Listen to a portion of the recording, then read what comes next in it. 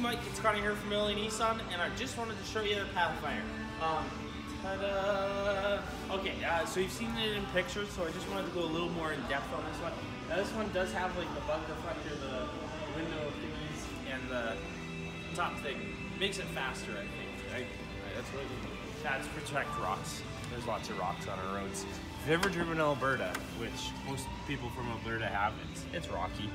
Um, all right, so uh, we got the uh, 3.5 liter V6. Now this has 284 horsepower in it. This thing also has really good gas mileage because it is a four-wheel drive, but most of the time it's gonna be a front-wheel drive base. Uh, so when you're not using it or when you're not doing like any off-road or anything like that, you're covered. You're getting better fuel economy than even what my car gets, which is really cool. Um, now this one also has the 20-inch rims, uh, and the heated cooled seats in the front.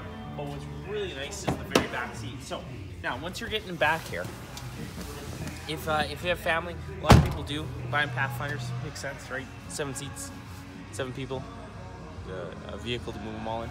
Uh, but you got lots of cup holders. Um, and you know what the worst part is is like having to stop every 10 minutes to get like a glass of water when you could have 16 cups of water in this bad boy and never have to stop ever again.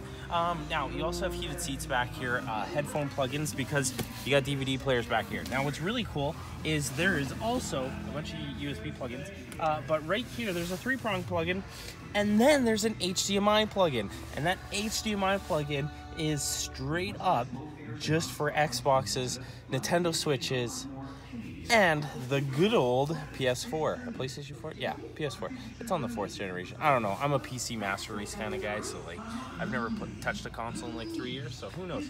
Um, you also got a sunroof. These seats recline, and uh, yeah, they're pretty comfortable. You should come try this vehicle out uh, because they're they're really nice.